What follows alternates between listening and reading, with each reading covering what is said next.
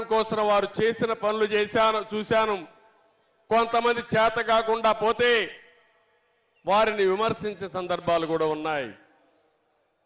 రాజకీయాలు ఎప్పుడు కూడా రాజకీయ వ్యతిరేకత ఉంటుంది తప్ప వ్యక్తిగత వ్యతిరేకత ఉండదు. ఈ విషయం మీరు గుర్తుపెట్టుకోవాల్సిన అవసరం ఉంది. ఈ రోజు ఈ రాష్ట్రంలో చూస్తా ఉంటే విశాఖపట్నంలో ఉన్నాం మనం. విజయనగరం భోగాపురం నియోజకవర్గంలో మీటింగ్ పెట్టుకున్నాం. ఇక్కడే విమానాశ్రయానికి నేను ఆ రోజు నాంది పలికాను. ల్యాండ్ అక్విజిషన్ కూడా చేశాను. అదే తెలుగుదేశం పార్టీ అధికారంలో ఉండుంటే రెండు వేల ఇరవైకే విమానాశ్రయం వచ్చేది. ఇప్పటికి కూడా రాలా. అంటే ఎలాంటి ప్రవర్తన చేశాడో మీరు గుర్తుపెట్టుకోవాల్సిన అవసరం ఉంది. ఉత్తరాంధ్ర మొత్తం ఈ ఐదు సంవత్సరాల్లో వైసీపీ కబ్జాలో నలిగిపోయే పరిస్థితుంది. నేను ఒకే అన్ని విషయాలు ఇక్కడ మాట్లాడలేం కానీ ఈరోజు రాష్ట్రంలో ఉండే ప్రతి ఒక్కరికి విజ్ఞప్తి చేస్తున్నా. ఐదు కోట్ల ప్రజలకు విజ్ఞప్తి చేస్తున్నాను. మీరు ఆలోచించవలసిన అవసరం ఉంది ఇది జనసేన తెలుగుదేశం పార్టీల కోసరం కాదు. లేకపోతే నా కోసరం పవన్ కళ్యాణ్ కోసరం కాదు.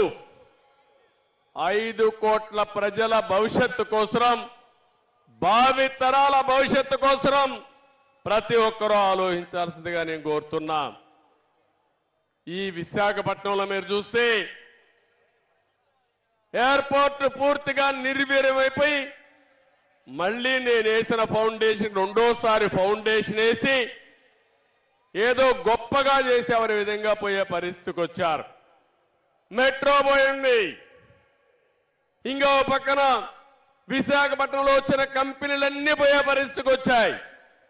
ఎప్పుడో సమైక్య ఆంధ్రప్రదేశ్లో హెచ్ఎస్బీసీ హెచ్ఎస్బిసి ఐటీ కంపెనీ తీసుకొస్తే అది కూడా పారిపోయే పరిస్థితికి వచ్చింది. ఉత్తరాంధ్ర ఇరిగేషన్ ప్రాజెక్టులన్నీ ఆగిపోయినాయి. నేను అడుగుతున్న ఈ ముఖ్యమంత్రిని ఇక్కడుండే ప్రజానీకాన్ని ఈ రోజు మీరందరూ ఒకసారి చూస్తే ఈ ప్రభుత్వం వచ్చిన తర్వాత ఉత్తరాంధ్రలో అభివృద్ధి ఆగిపోయింది. ఎక్కడికక్కడ కబ్జాలు పెరిగిపోయినాయి. సెటిల్మెంట్లు పెరిగిపోయినాయి. మెడ మీద కత్తి పెట్టి ఆస్తులు బలవంతంగా రాసుకున్నారంటే ఎంత బాధాకరం ఆలోచించండి. నా జీవితంలో చాలా సంవత్సరాలు రాజకీయాలు చూశాను కానీ ఎప్పుడు కూడా సమైక్య ఆంధ్రప్రదేశ్లో కూడా ఇంత అరాచకాలు జరగలేదు.